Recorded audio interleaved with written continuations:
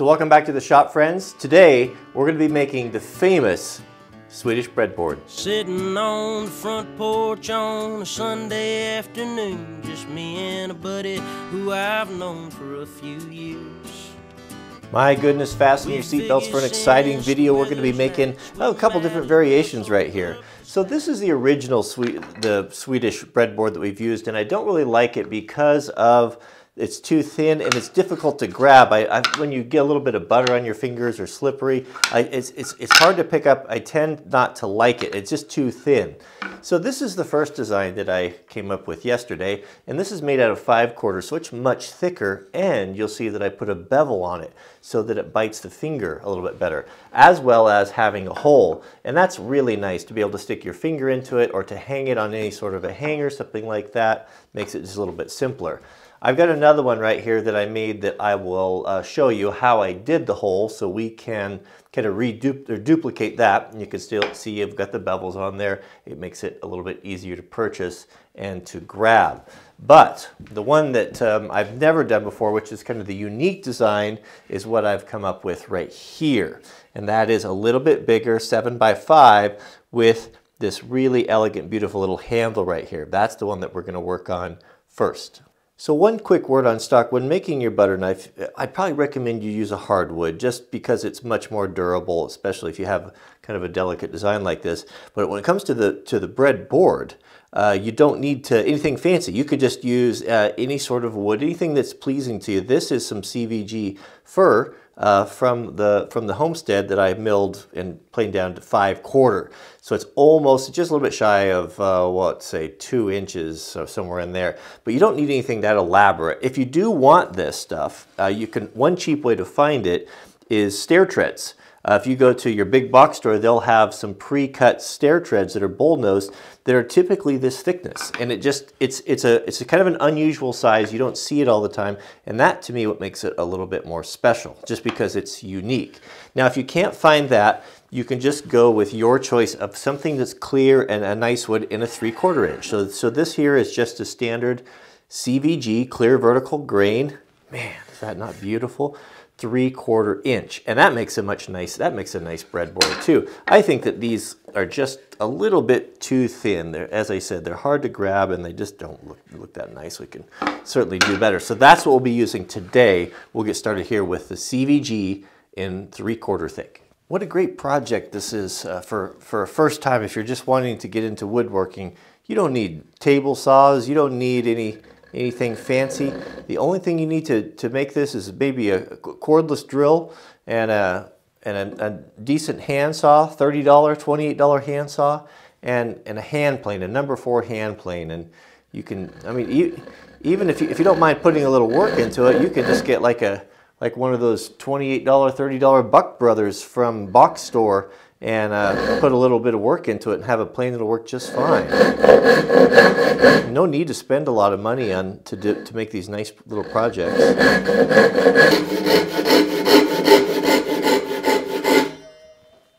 So here's where we need to be a little bit more careful. So we've got our five by seven, right? And we've got this shape right here. This is two inches. This comes down to, to one inch. So you find your center and draw that and connect those lines. So beings we can't this is end grain.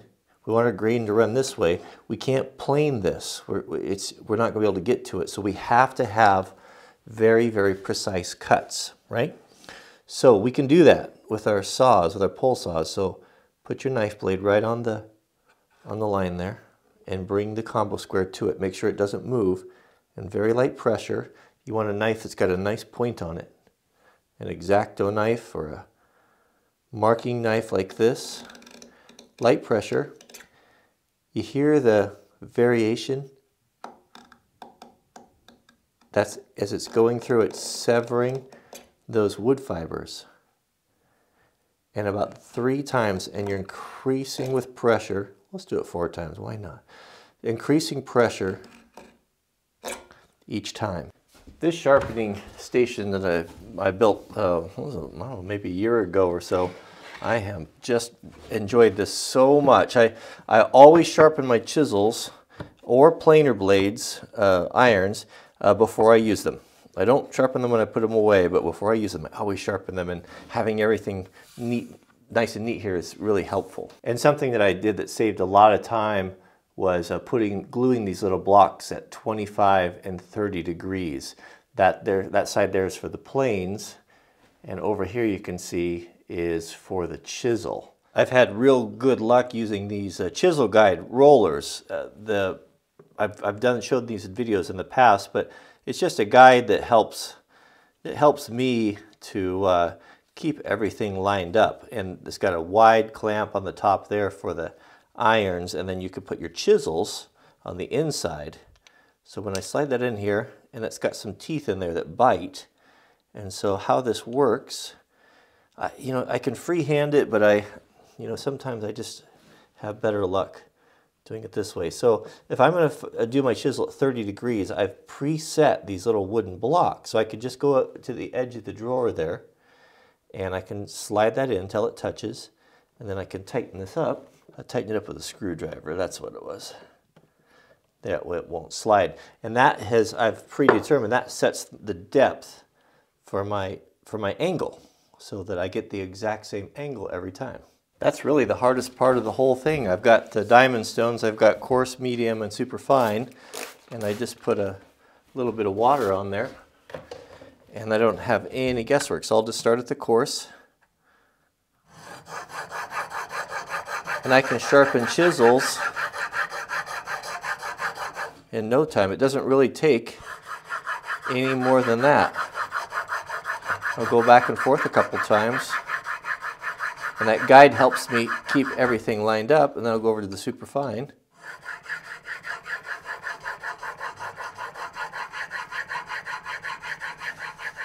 And a light touch at the end, and it just rolls along that bar that that ball is a roller wheel on the bottom, so it doesn't damage or load up the stone. And that's it right there. I have an absolutely, absolutely sharp chisel.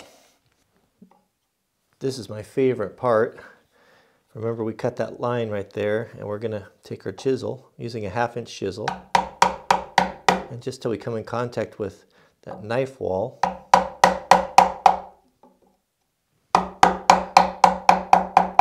you can feel the chisel. You'll know when to stop as soon as it hits that hard up against that wall.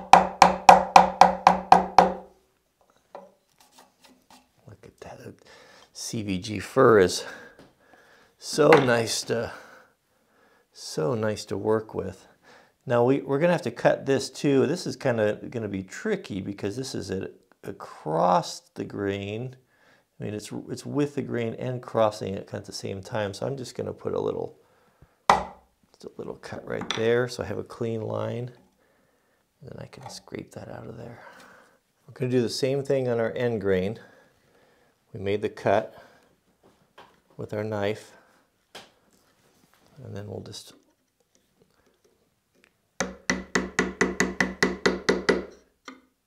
chisel right down to that. We'll push it back and forth. You should be able to get it. So you got a nice clean wall right there. Just give it a little tap and uh, remove some of that wood there so it gives so you have a little bit of room for your your saw. See how clean and nice that is? No tear out. This is where it's so important to have a, a good saw.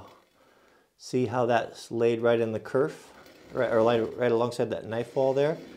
And now we'll really, we can carefully follow that knife wall. The saw is going to want to almost naturally uh, lay right in that portion that we cut.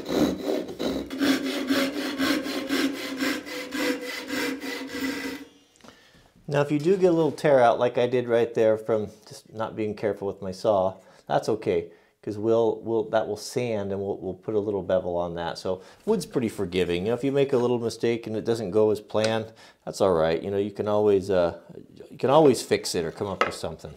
Now we can cut the angles and we're just gonna have to freehand this one. Just start gently, but cut close to the line because we don't have room really to plane that.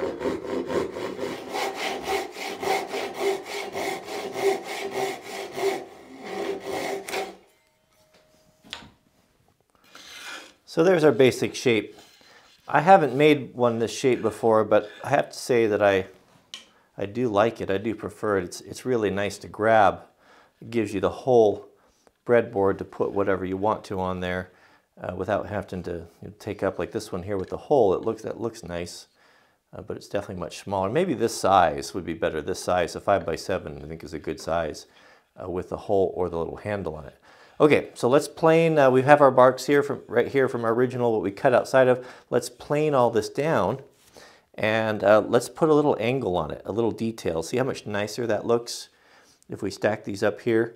That, that having that little chamfer on there versus just a flat edge, it's really easy to do and we can just um, uh, do knock that out real quick. It makes a, makes a nice, uh, nice finish. So I'm not going to worry about you know, making marks or anything. We're just going to do this uh, kind of eyeball it how it how it looks nice what looks nice as far as that little bevel. Uh, anywhere between about five and five and ten degrees. So you can see that that's our line there, there for, that we wanted to our we'll get our dimension down to.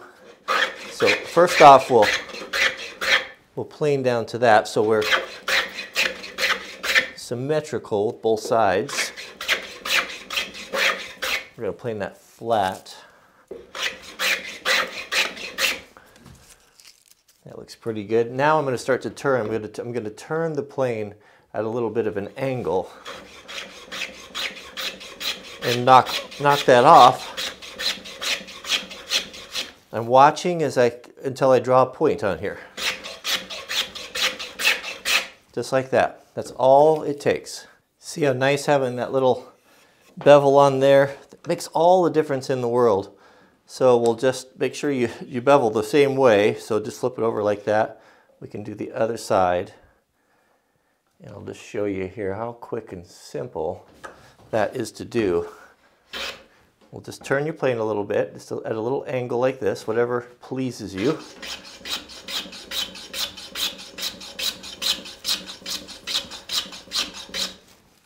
Just like that. do a little bit more.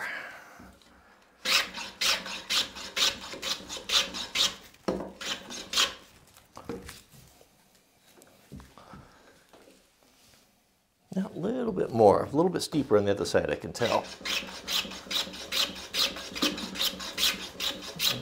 There's no wrong way here. Yeah, that looks better. That looks more like it.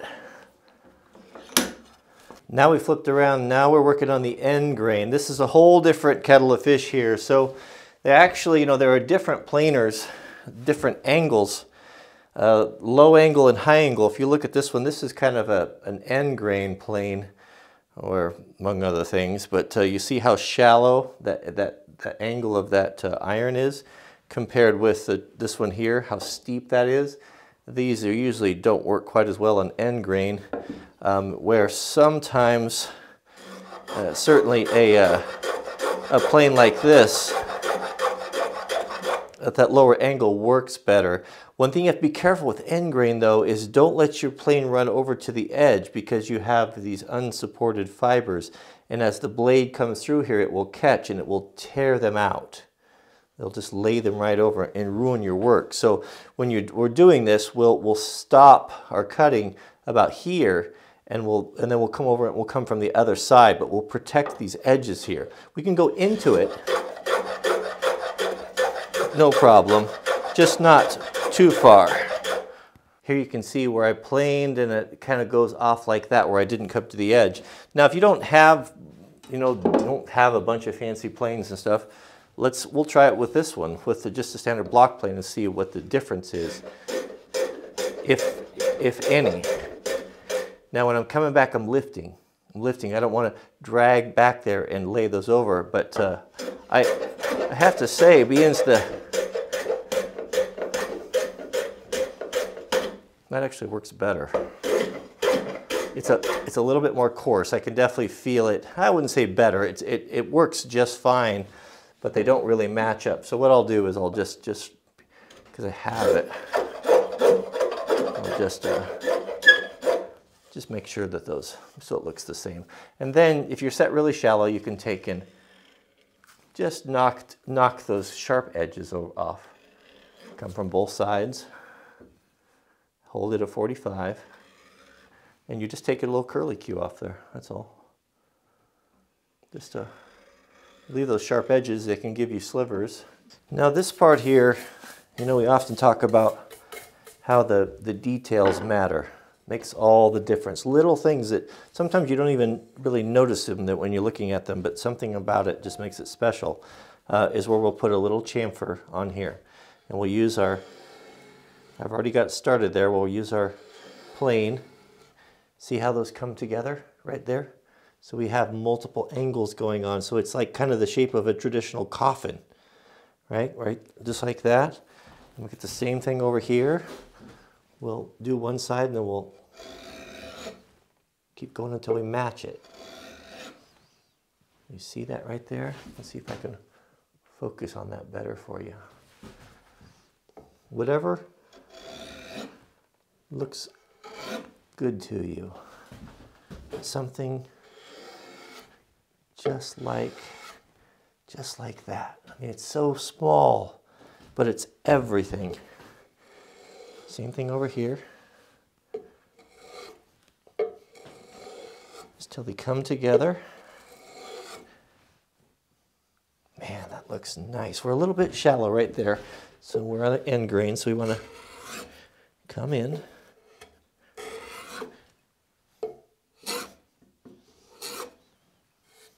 It's not perfect, it's, it's okay. It's okay. Now one more. Oh yeah, that is nice right there. You can see that little detail there, just that, just changing things up, having multiple angles and facets to things, things that create shadows are, are everything in aesthetics and design. You know, contrasted with just a piece of, like this one here, that just a square. You know, see the, the difference and, and how subtle it is, and you may not even notice it when you first pick it up, but it's, it's uh, to the touch and to the to, to the the holding of it and just the, the way it reflects light it just gives it uh, gives it so much more. It just makes it interesting. Now over on this side we have a bit of a challenge because we you know we can't get our plane in there right? So whenever you can even if it's just a little bit at least kind of get it started started in, in an angle there so it matches up the other side then we can do this by hand you know, and try to avoid, on this one, because we want those hard lines, try to avoid sandpaper. Sandpaper destroys the tool marks and it rounds everything over and it makes it look common um, and not like it was tooled. This is so important to have your chisels sharp. That's why I always sharpen them. But see, we've, we, we've duplicated that, um, but free-handing. So we come to that corner there and we could take a little bit more. Oh, the pleasure of working with a sharp chisel is hard to quantitate. You can't get this look with sandpaper. This is we're working with a hardwood is much, you get better results than with the softwood. So when you come to these corners, just keep your angle and roll it in there, cut, and then come from the other side. Your camera's not in the way. I got the electron microscope videoing this and it's so huge that it gets in the way. Here we go. That's all right, we kind of. Now we'll just take our plane and set very shallow clean off all of the pencil marks and oil from our hands. And what that gives it, what when you have a, an iron that's so sharp as this one, it, uh, it, it severs the blade, severs the, uh, look at that. It severs the, um, the, the, the wood there into these. That's actually a little bit thick, uh, but it makes a clean cut across there and it kind of sharpens and cleans up those edges, especially where you're free-handed right there, and gives it that a, a, a, polish, a shine that you can't get from sandpaper that just gives it a dullness. And just hit that. I think it's shifted on me there. It's kind of, you have to be careful clamping with these softwoods like this because with that bevel on there, there's not much holding. You just need to make, you can just see here and here where the blade hasn't passed.